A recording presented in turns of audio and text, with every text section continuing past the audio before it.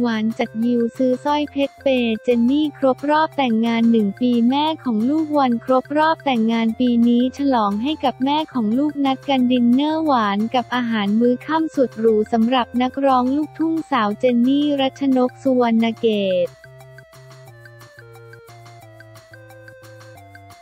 หรือเจนนี่ได้หมดถ้าสดชื่น และสามียิวฉัตรมงคลได้แต่งชุดทีมสีดำสุดเรียบหรู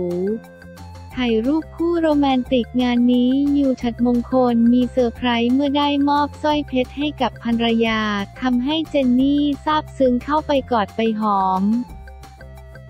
ดงความรักในวันพิเศษที่บรรยากาศเป็นใจ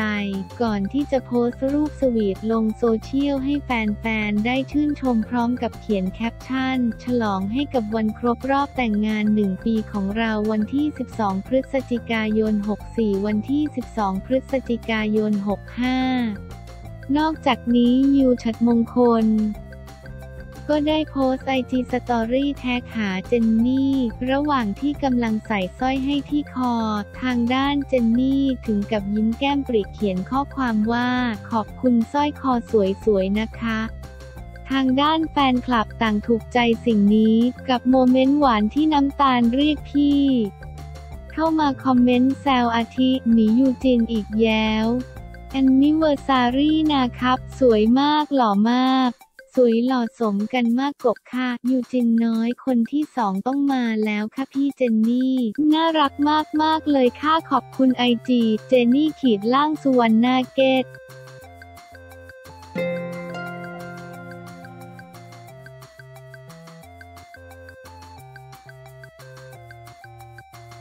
ต้นหอมลั่นสเปคผู้ชายต้องรวย ไม่เอากำลังสร้างตัวต้องมาพร้อมเดินไปด้วยกันต้นหอมสกุลตลายอมรับสเปคผู้ชายที่ใช่ตอนนี้ คือต้องรวย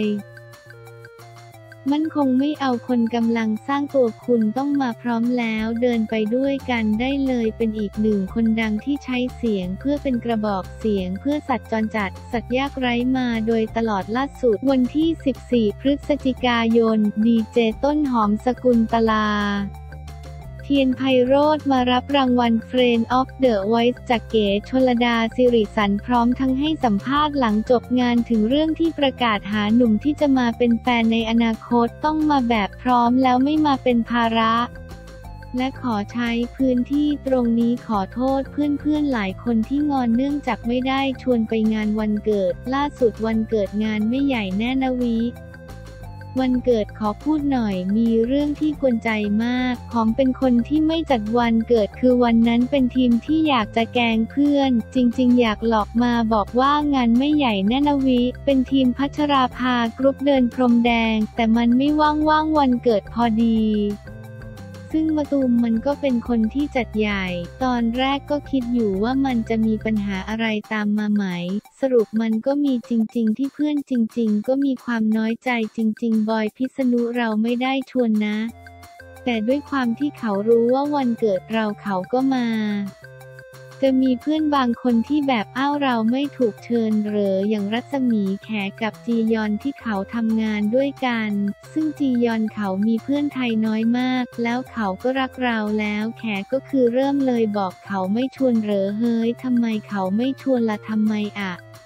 คือจียอนก็เริ่มน้อยใจจริง ๆ แล้วมีการเคลียร์กันหรือยัง คือช่วงนี้ก็โทรไปแต่เอ๊ะทำไมเสียงนิ่งๆ คือเราไม่ได้พูดเรื่องนี้นะเขาก็พูดเลยว่าเขาก็น้อยใจนะว่าทำไมถึงไม่ได้ชวนเขา คือเราก็ต้องบอกว่ามันไม่ได้เป็นการที่ตั้งใจจะจัดวันเกิดจริง ๆ เป็นคนที่ไม่เลี้ยงวันเกิดมันเปลือง แต่ถ้าใครเลี้ยงเราเราเอานะแล้วก็มีใบเฟิร์นนะใบเฟิร์นเราก็สนิทเราก็รู้นะว่ามันมีนิดนึงเราก็ให้เจนนี่ลองโทรไปหาใบเฟิร์นเจนนี่คอไปมันรับนะ แต่พอมันเห็นหน้าหอมมันวังเลยแล้วมันก็คงดูว่าอ้าวนี่มันลายเจนนี่นี่หว่า หัวเราะ คือไม่รู้นะว่าทุกคนน่าเข้าใจหรือเปล่า แต่ก็อยากจะบอกตรงนี้เลยว่า หอมไม่ได้ตั้งใจจะจัดวันเกิดจริง ๆ นะแล้วเดี๋ยวเราอาจนัดกินข้าวกันสำหรับเพื่อนทุกคนตองพักคระไมก็ยังไม่ได้พูดเหมือนกันนะเนี่ยเพิ่งมาเจอกันคือเข้าใจนะว่ามันไม่ใช่ความงอนหรอก เพราะว่าทุกคนโตแล้วทุกคนก็ยังส่งเมสเซจอวยพรแต่ว่าความน้อยใจลึกๆว่าเอ๊ะทำไมเราไม่ถูกเชิญเราสนิทนะคือหลายคนตองพี่เก๋ชนลดาแพรวคือทุกคนสนิทมากทุกคนมางานนี้หมดเลยนะ ใช่เข้าวันนี้ก็อาจจะต้องพูดคุยว่าไม่ได้ตั้งใจจัดงานวันเกิดนะ เดี๋ยวเราไปกินข้าวกัน หรือเราจะจัดขึ้นมาอีกทีหนึ่งไม่เปลืองเปลืองเพราะว่าถ้ารวมกันแล้วมันหลายตังเพราะมันหลายคน ใครถูกกับใครบ้างก็ไม่รู้ในวงการเรา คือเพื่อนเยอะหลายกลุ่มอะเลยไม่ต้องจัดดีกว่า แต่อันนั้นก็คือต้องการคอนเทนต์หลอกเพื่อนมา ก็เป็นคนที่หลอกได้อย่างแม่อ้นแอร์พวกที่เขาจะจัดเต็มก็สนุกดีที่เห็นเขาใส่เพชรจริงมางานเพชรปลอม หัวเราะ เห็นประกาศหาหนุ่มสเปคแบบฟูลแพ็กเกจ เราอยากได้คนไม่มีด้วยเหรอคือจริง ๆ ที่หอมพูดอะทุกคนก็อยากได้นั่นแหละ แต่ว่าไม่มีใครพูดออกมา ถ้าพูดออกมาแล้วมันดูโลกไม่สวย หอมว่าสเปคของผู้หญิงมันถูกเปลี่ยนตามอายุตอนเด็กๆโอเคอาหล่อ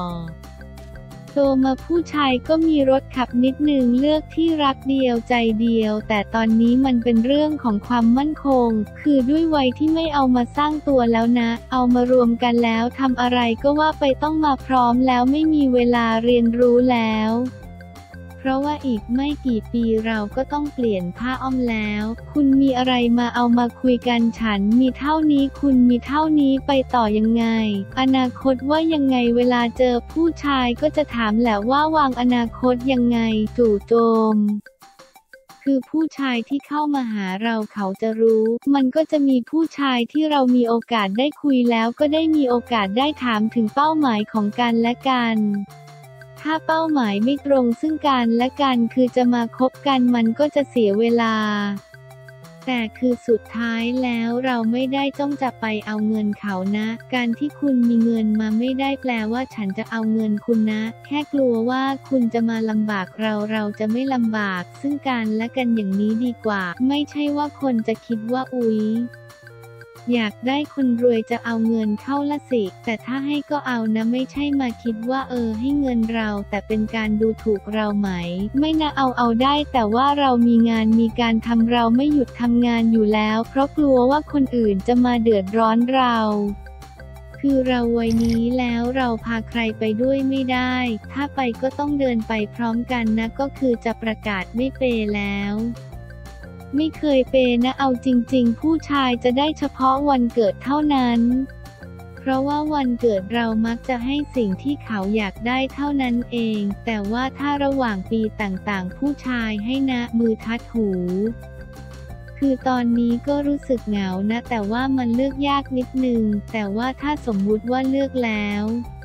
ด้วยความที่เรามีบทเรียนเรื่องความรักมาเยอะ หอมจะบอกเลยว่าหอมเป็นเวอร์ชั่นผู้หญิงที่เป็นแฟนที่โคตรน่ารักเลย